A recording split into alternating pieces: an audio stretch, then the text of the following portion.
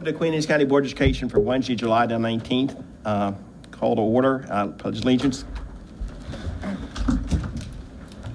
Pledge allegiance. To the flag of the United States of America and to the republic for which it stands, one nation, under God, indivisible, with liberty and justice for all.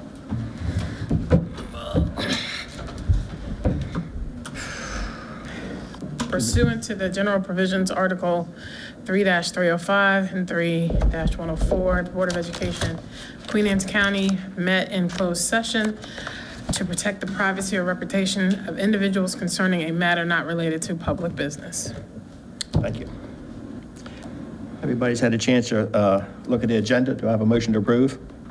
Can I have a motion to approve um, June 21st closed session and open session, July 12th closed session? No, and no, no, open- we, we got to approve the agenda first. Oh, sorry. Motion to approve the agenda. I have a second? All those in favor say aye. Aye. Okay, we have uh, minutes in front of us for June the 21st and 22nd, both closed and open. Has everybody had a chance to look, review them? Yes. Yes. Have a motion? To approve? Second? Motion, second. All those in favor say aye. Aye. Thank you. Okay, we also have our minutes for July 12th and uh, closed and open session. Everybody's had a chance to review them? Yes. Yes. Can I, Motion to approve the minutes. second? All those in favor say aye. Aye. Aye, thank you. Okay, moving on to informational items. Uh, Spotlight presentation. Oh, we're gonna skip the spotlight. We We're gonna skip that? Okay. Yeah, We're gonna take that We're off? gonna go with, um. You're good. Okay, the master 3.01. facility plan? Yes. 3.02.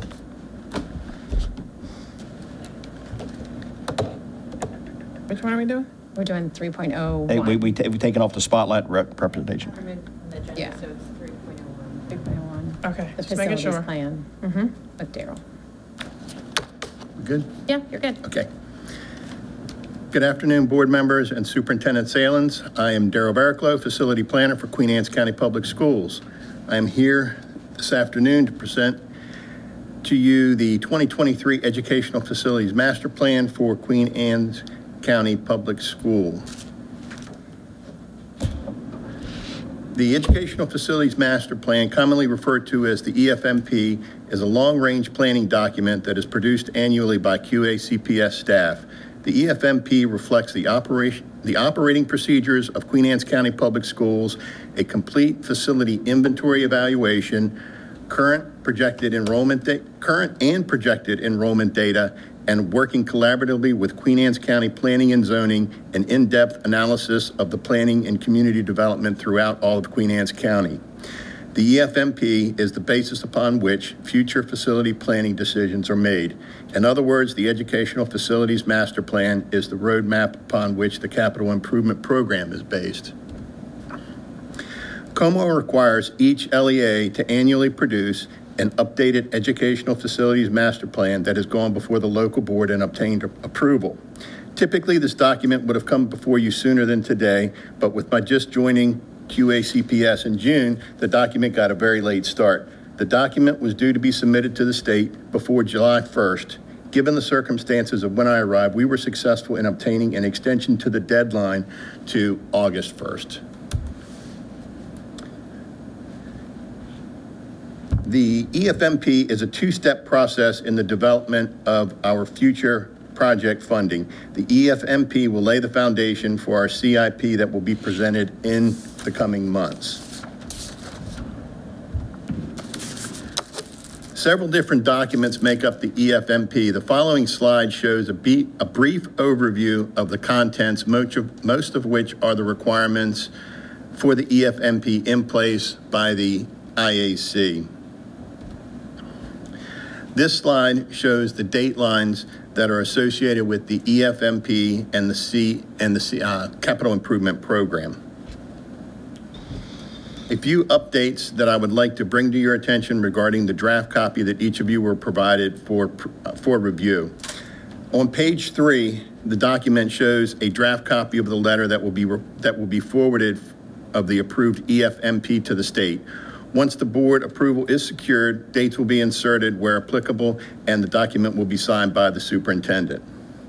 Number two, since the production of the draft copy of the EFMP, the non non-discrimination statement on page five has been signed by the superintendent and President Schiffinelli. So the fully, so a fully signed copy will be part of the final EFMP. Lastly, page 146 of the document will be, will be replaced with a copy of the review and approval letter from Queen Anne's County Department of Planning and Zoning, which was received shortly after the draft copy was, was prepared and uh, assembled for board docs.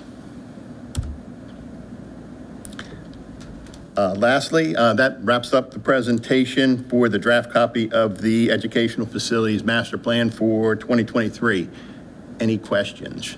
Any questions? I don't have any questions, updates. I guess one of the major things that, and we've been through this at our meetings, is that uh, the ninth grade is now moving into Kent Island High School.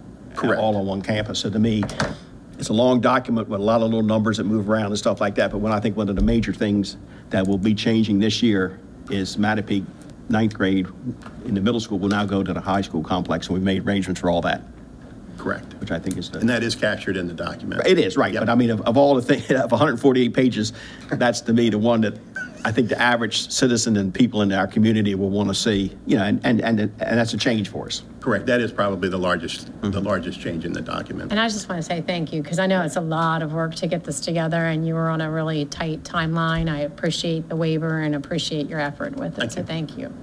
It's a tight timeline when you're, when you were here for, for a year, Yeah. much less here Much for a few weeks. yeah. Yeah. We appreciate that. Any other questions by the board? Nope. Thank you. Thank you. Okay, Mr. Page, 640-1.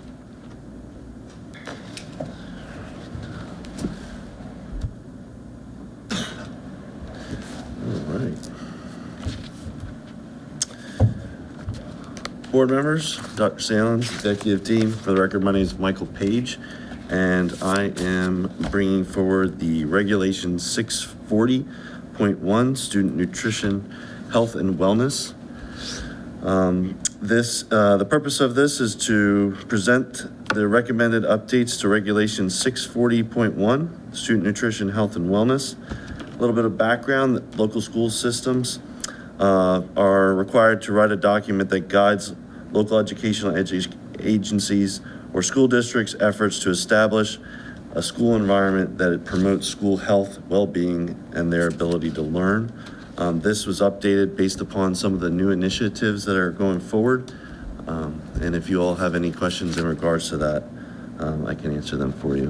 What I do want to note is that this is a, this document is uh, created through multiple departments, so curriculum and instruction has a piece of this, uh, food services has a piece of this, nurses, and, and student services. So if there isn't, if there is a question that I can't answer for you, um, I will make sure to get those to them.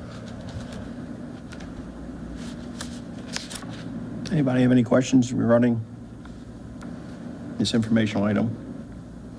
The only question I had was under the health education, um, number three, under family life and the human sexuality education.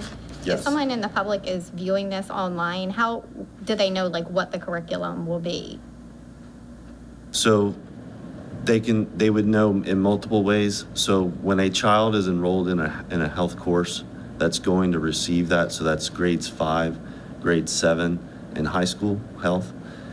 Those parents before that class or before that um, uh, uh, unit is started, they receive a parent letter home. So they'll receive a parent letter home. Um, and then with that, they have the information that is being taught within those lessons. And then they, we also provide them with the, the option to opt out of that, that specific content. Um, and then within that, they also get a letter that states if you'd like to view any of the materials to contact the schools and or me. Okay, thank you. And I think that's very important. It is an opt-out. And we're starting this in fifth, which is required by state law. And we're putting it at the higher end of our system, of our grade levels, not earlier. Correct. So we, we do start the family life and human sexuality in fifth grade. Any other questions? No. Thank you. Thank you, Mr. Page. You. Dr. Kibler.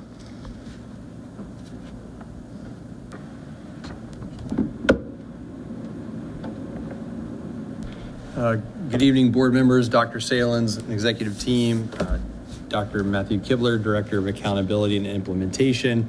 I'm here tonight uh, to present to you a draft of our safe return plan.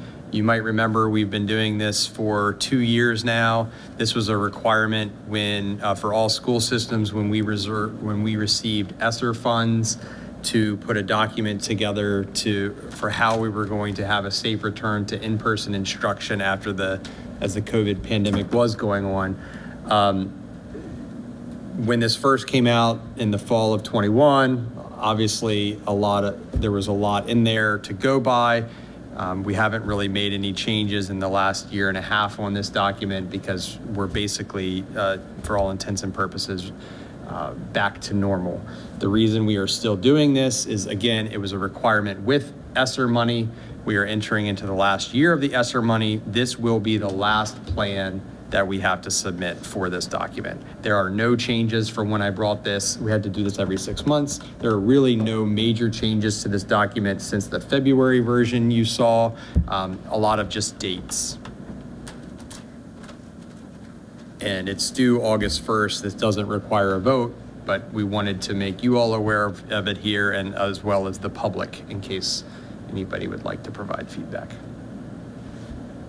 And this is be the last one you have to do. Correct. I, that was, that was like, so we get these weekly transmittals from the state superintendent and we were supposed to have to do this for another year. This was the first time I was excited to see in the transmittal something that said this would be the last one. Nice. So you have something else to do with your free time. Yeah. I'm sure that we will Dr. find Sales something might for find me to something do. to do. Any questions by the board? Thank you. Thank you. Okay, we'll move into uh, action items. We just had an update on the uh, educational facility master plan. Do I have any? Okay, go with Good afternoon again. I'm Darrell Barraclough, Facility Planner. Uh, I come before you this afternoon seeking approval of the 2023 Educational Facilities Master Plan. Any questions? Board member? Okay, do I have a motion? Can I motion to, sorry, approve the 2023 Educational Facilities Master Plan? Second? Have a motion and a second. All those in favor say aye. Aye. We got it. Thank you. Thank you. Mr. Page again.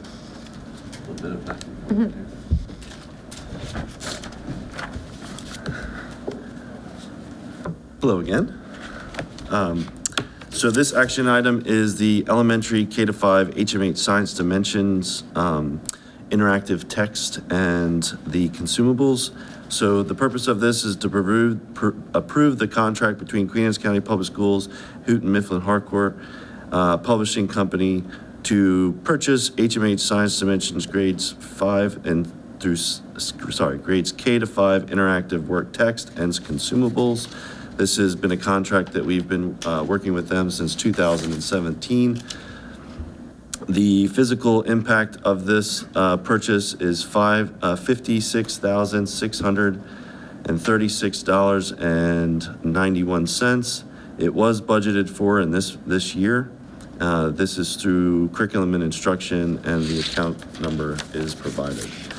The action is that the superintendent recommends the board approves the contract between Queens County Public Schools and Houghton Mifflin Harcourt HMH Publishing Company to purchase the HMH Science Dimensions Interactive Work Text consumables for grades K-5 in the amount of $56,636.91. This is in our current budget.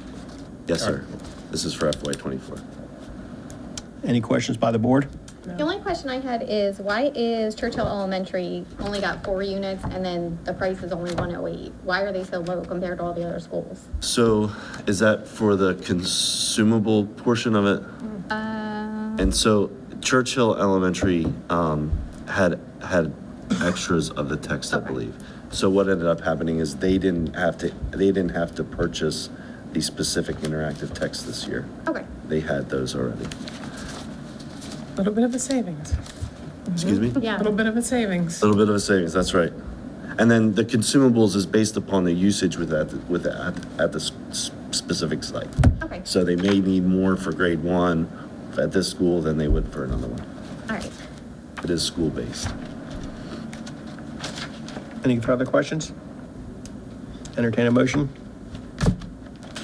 Can I have a motion to approve the contract with Houghton Mifflin Harcourt Publishing Company to purchase HMH Science Dimensions Interactive Work Text and Consumables for grades K through 5, fiscal impact $56,636.91, budget source curriculum and instruction.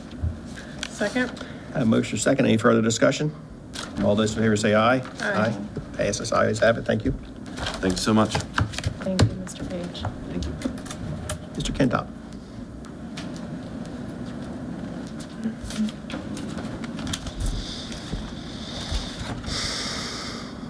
Good evening, board members. Dr. Salen, executive team. I'm here to present a contract for approval with Edmentum, who is the, uh, the the organization that does our blended virtual program. As you know, we're part of ESMEC, and ESMEC contracts the Eastern Shore counties with Edmentum to provide a blended uh, virtual program. This year, um, we are paying, each county is paying directly to Edmentum that rather than going through ESMEC. So we have approved this year 23 applications for students. We have received one for free from Edmentum. Each one of those has a cost of $6,250 for a total budget impact of $137,500. It is category three contracted services and it was budgeted for. Is that about the same numbers we had last year roughly? We're actually a, a few less, It- but yeah, it's right around the same numbers. Our cost factor per student did not go up this year, correct? It went down. It went down. There was a negotiation with Edmentum because of some issues that went on last year. And in order to keep our services, they, they brokered a deal with ESMEC. It's actually cheaper this year. Do we need to ask what the issues were? What's that? Do we need to ask? Scheduling issues for classes? It was like tech, technical issues and Technical ability to get answers to questions quickly and things of that nature. Those are all acceptable answers? Yes. Oh, they, they were, they were fixed Right. last year, but in an effort to maintain our program, they wanted us to, they, they worked out a deal with, it- with ESMEC. And you feel it's doing, it's doing a good job with our students and stuff like that? Yes, we've had a, actually, we had an 80, what did I say, 86, 87 percent success rate yeah. um, this year with, with credits earned and passing with middle school. It was, it was very high. Nice. And are these the same hours as a normal school day, or do they do different?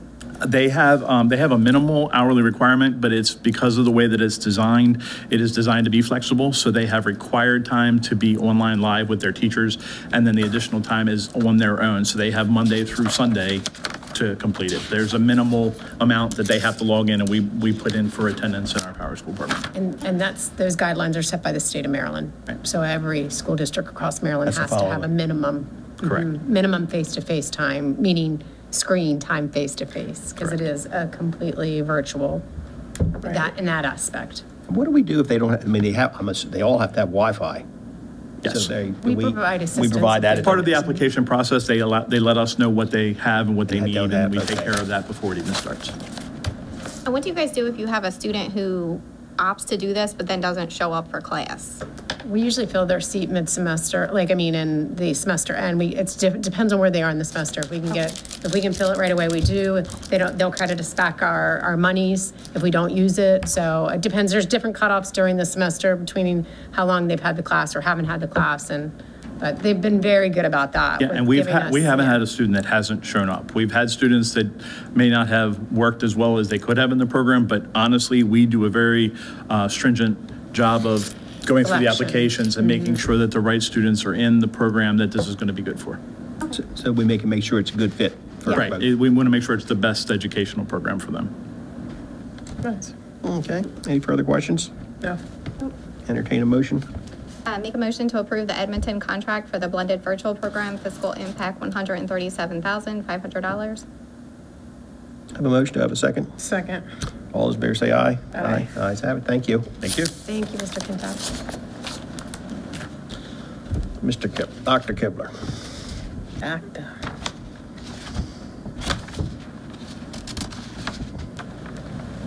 Good evening again. Uh, Tonight, bring to you um, uh, proposed revised calendar due to the Maryland State Legislature late in their session, um, moving general, uh, the primary election day for the spring of 2024 to May 14th. The law says that we need to be closed for both general and primary election days. So what we're proposing here is to um, close schools and offices on May 14th um, not extending the school year because we have already broadcast what the proposed end date would be. And of the three embedded snow days we had in the calendar, we would just go down to two. And we'd also have the two inclement weather contingency days on the holidays as well. So if the inclement weather happens prior to those holidays, we'll, we'll pull it. We could. So it's uh, Martin Luther King Day in January, which is a tough one to do just because we don't get a lot of early snow necessarily, and then. President's Day as well. Because once, you know, February, March, you can have something come up and then all of a sudden we don't have any options at that point. Correct. So the bottom line is, we're, we're going to have schools closed the 14th. That's the only change of this calendar. The other will be uh, inside the school system to find out to make sure we meet our minimum of 180 days. We, and we will. So, so if you actually counted in this, prop- in this revised, in this revision, if you counted student days, you'd actually count 182. Okay. Because we'll, because we'll have the two embedded in Right. there. So it's likely, if we had another year like this year, we would be coming to you late next spring and saying, we want to adjust the end of school back two days. Two days. But we didn't want to do that change, any change No. at the end of school right now. I think that's a good option. And this is affecting the entire state. They did it so late, everybody approves calendars in January and February, so everybody, well, all districts except for the six that are in the law that do not have to close for general and primary elections um, had to make this same change. But I know we've talked to our election board, and it's a state issue across, I mean, we're not the only county that they utilize schools. Correct. You know, I mean, it's a, it's a problem, not a, pro well, an issue. It is a problem. It You know, a It's a problem, but it's, a you know, I Yeah. mean, we've tried to look at that, but it's Yeah. just, And what I, I didn't realize until this was coming back up, that it's actually part of the law what districts can, can be closed. Mm-hmm. So if we would ever even get the Board of Elections to agree to it, we would have to go have the law changed too. That's true, right, yeah. All right. any other questions? Nope. Enter a motion to adjust the calendar to have May the 14th as a holiday or a day off for election. Uh, Make a motion to approve the revised 2023-2024 school year calendar. Second. Motion second, all those in favor say aye. Aye. Aye. Thank you. Mr. Pender.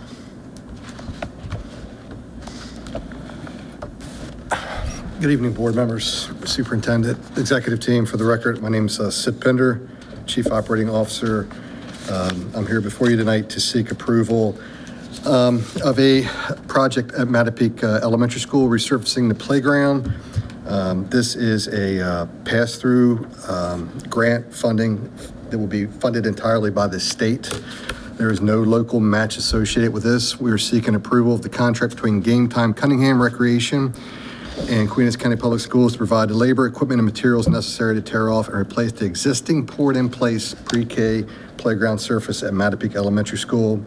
Uh, We are utilizing the Omnia uh, Cooperative Purchasing Agreement. Uh, What we currently have there is a poured-in rubber place, um, or surface, sorry. And over the years, it's just wear and tear on it, and we've repaired it many times. This is the rubber tile that will go in there so that if something happens to, we can remove a section of it without, without having to remove the whole entire surface.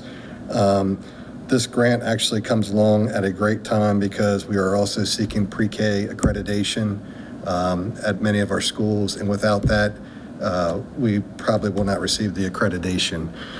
Um, The amount of the project is $73,229, and again, that is funded through the um, pass-through grant, and we also have documentation they require for the county administrator to sign off, uh, giving their approval also. That's something we done this summer? We're going to, yep, This summer? yep, Oh, okay. we got her. Okay. Any other questions? Enter a motion? I make a motion to approve the contract with Game Time Care of Cunningham Recreation to replace the playground surface at Matapeake Elementary School. Fiscal impact seventy-three thousand, two hundred and twenty-nine. Budget source QACPS SB two nine one, pass-through grant funding. Second. Have a motion second. All those in favor say aye. Aye. Ayes have it. Thank you. Okay. Now we're on to the buses. Yes, sir. Um, Before you tonight uh, to seek approval for uh, Miss Virginia Brown of the Northern County Exchange LLC to purchase a new used or used bus for the 24-25 school year to replace Bus 3310 as it goes out of service on August 24th, 2024. And we are talking not this year, but the following school year, um, that that bus will be put in service. They would not receive the PVA until that following year to associate it with that bus. But with the delay in production, you know, we're, we've, took us 10 months to get one of our own buses. Um, So they are seeking approval for that. We also do go through our budget and line up which ones are going to be retired after the mandatory 15 years. So this bus will be at its 15th year, and we do have that earmarked on our um, documents. So this is really going to affect 25, not Yep. this year's budget, but the following year's budget. but That's correct. You got it. And we roll back the same amount of buses every, I'm not every year, but, Yes. I mean, uh, what do we have, like 70, 80 contract buses? Uh, 72, I believe it is. Any other questions? Nope. No. Enter motion? I make a motion to approve Virginia Brown of Northern County Exchange LLC to purchase a newer used bus to replace number 3310. Fiscal impact PVA budget source FY '25. Second. A motion second. All those in favor say aye. Aye. Ayes have it. Thank you. The next item is again with Northern County Exchange, uh, approval for Nancy Coleman, uh, the Northern County Exchange LLC to purchase a new or used bus for the 24-25 school year to replace Bus 8610 as it goes out of service on August 24th, 2024. Um, Again, the bus just before this, it it would, PVA would not go into effect until the following school year. Um, But again, it's meant its 15-year um, use of life. Any questions by the board? No, entertain a motion? Make a motion to approve Nancy Coleman of Northern County Exchange LLC to purchase a new or used bus to replace number 8610. Fiscal impact PVA budget source FY '25. Second. A motion second. All those in favor say aye. Aye. Ayes have it. Thank you. And the last one uh, I have before you tonight is for LNS Bus Service. Um, Approval for Lawrence Chenault of LNS Bus Service Incorporated to purchase a new slash used bus for the 23-24 school year to replace Bus 10309 as it goes out of service this upcoming August. Um, The Likelihood of that is probably a used bus. But just so you know, the, whatever the year the bus is, is the year that the PVA is associated with it. So it's not the PVA that, you know, we currently have. So we just go back to the PVA of of 18 or 17, So, whatever, yep. bu- whatever year the bus is. Yes, sir. Any other questions? No. Any motion? Can I make motion to approve Lawrence Chenaud of LNS Bus Service Incorporated to purchase a newer used bus to replace number 10309. Fiscal impact B- PVA budget source FY '25. Second. A motion second. All those in favor say aye. Aye. Aye. Ayes have it. Thank you. That's and for our informational things. Our future meetings will be, uh, August the 2nd will be our regular school board meeting at 6 o'clock, and we will also have August 16th, a work session at 5 o'clock. I have any uh, information for the board? Yeah. Entertain a motion to adjourn? I make a motion. To a second? All those in favor say aye. Thank Aye. you.